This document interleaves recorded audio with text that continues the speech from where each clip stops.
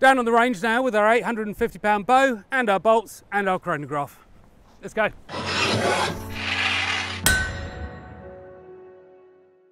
Hi, it's Tod at Tod's Workshop and Tod Cutler here, and today I'm back with my windlass crossbow, 850 pounds, and a fistful of bolts, ranging from 60 grams through to 159 grams. These are all authentic historical weights for crossbow bolts for bows like this.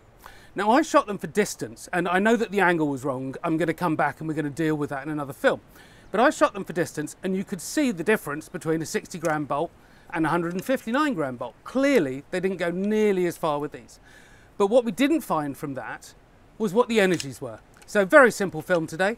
I'm going to put these bolts through a chronograph. We're going to find out what the energies are and the momentum is of these bolts, you know, because that's just going to put things into context.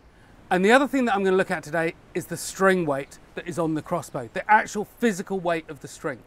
Because as I noted in that film, I think that the string I put on this windlass crossbow was a bit heavy. Maybe that made a difference to the distance it shot. So I've got a lighter one here this one, for the record, 180 grams. The one in my hand here, 140 grams. So 40 grams difference, considerable. But the steel bow itself weighs 2.4 kilos. 2.4 kilos just for this spring here. And so when you shoot this, the bow itself is having to move that weight as well as the 140, 180 grams of the string.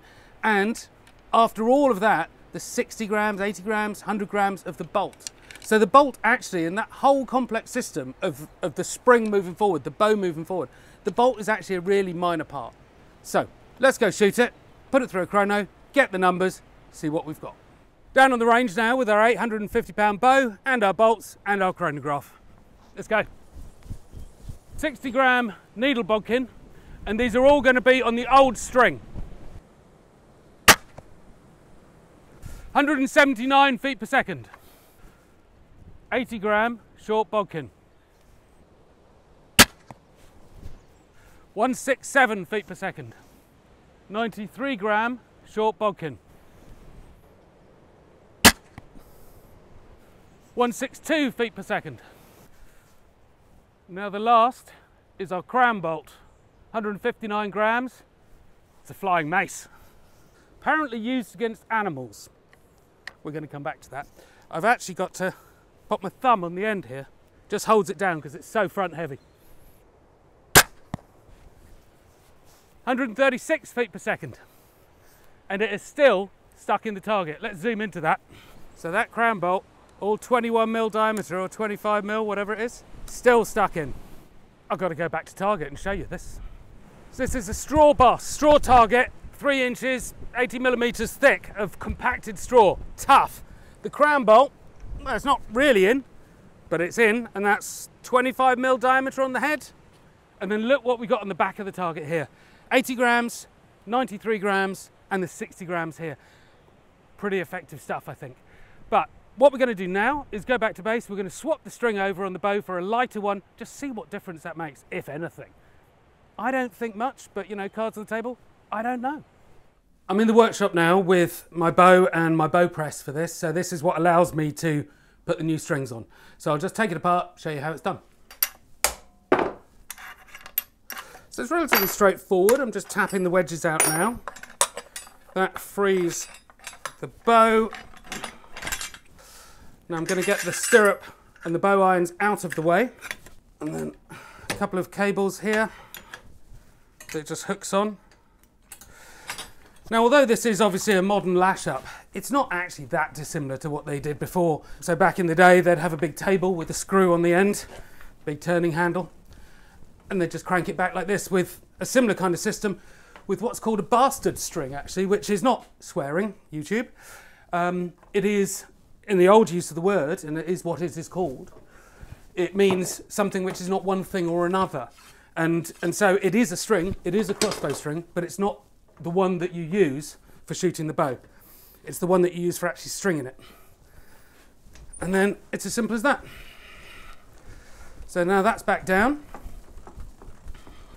I can pop it out. So it's actually it's a relatively quick process. Getting that about central. We'll centralize it in a minute. And then the little anvil piece goes in. I've got a whole video on this actually about wedges and things, and in fact on how to string bows as well. So if you mine back in my channel, in my less enthusiastic days, you will find lots of stuff about this kind of thing. And then you just tap it back up. And that's it. We're ready to go back out again. So off we go with a string which is now 140 grams instead of 180 grams. Back with the lighter string now and the 60 gram bolt. 177.6. 80 gram.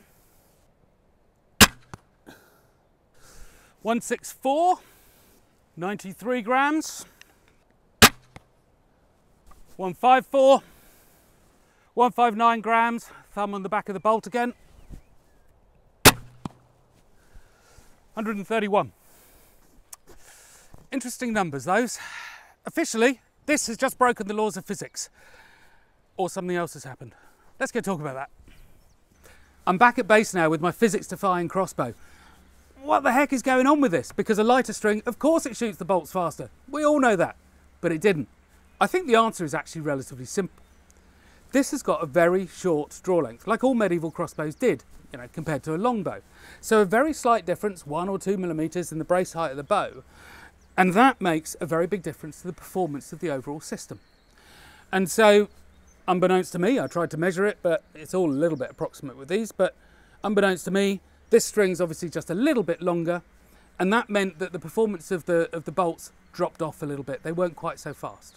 But the other thing that we've really learnt about this is that with a 2.4 kilo bow and 140, 180 grams string, the actual weight of the string is just not that important to the whole system. So that's one thing that we've learned. So anyway, the bottom line is I'm just going to go shooting with the heavy string, it'll last longer and it makes very little difference. Back to the real reason we're here, which is these four bolts, speeds, energies, momentum. There's your little close up so we can see what we've got. Now, I'm going to put the data table up. You can draw your own conclusions, talk about it, please do. This is what I draw from it. The lightest one, yeah, it's pretty low down on the energy scales, you know, 90 joules. It's going to do you damage. But as soon as you get up to this one, 113 joules, so significantly more. Momentum of 4.6 kilogram meters per second, more than a 9 mil Parabellum round.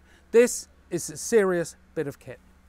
And the range is not an awful lot less than you know the lighter bolts. So for me, getting up to the 93 gram area, that's definitely what you're really going to be looking at. That's what you want. But I'm sure medieval times, archers are going to be different. They're going to choose different things. You know, everyone has a preference. But this is the interesting beastie, of course. So, you know, the speed was much lower on 41 meters a second. The energy, though, of course, because as we know, these things are sort of fairly inefficient in their energy transfer, but they can shift big weights. 137 joules. So this really does pack a punch. Momentum, 6.6 kilogram meters per second. Again, 9 mil Parabellum bullet, around about 4. This kicks out some beef. What have I learnt today? Well, the first thing is that crossbow strings on a heavy military bow, whether they're light or whether they're heavy like this one, don't make that much difference to the performance. So we don't have to worry about that too much. Crown bolts, they don't go very far, but my goodness, they pack a punch. They really do. But they're not military. So we're going to come back and look at them in a hunting context. We'll shoot some uh, lamb legs and some skin, something like that, see what it does. Then we have our three military bolts here, ranging from 60 grams through to 93 grams. There's not that much difference in the distance that they shoot, although I will be coming back to look at distance again with different angles. But what is relevant to them is the energy that they carry. So this one carries significantly more energy and significantly more momentum than the lighter bolts. Not a great deal of difference in the distance they shoot. There we are. We're all learning on this one, but thank you very much and I'll see you again.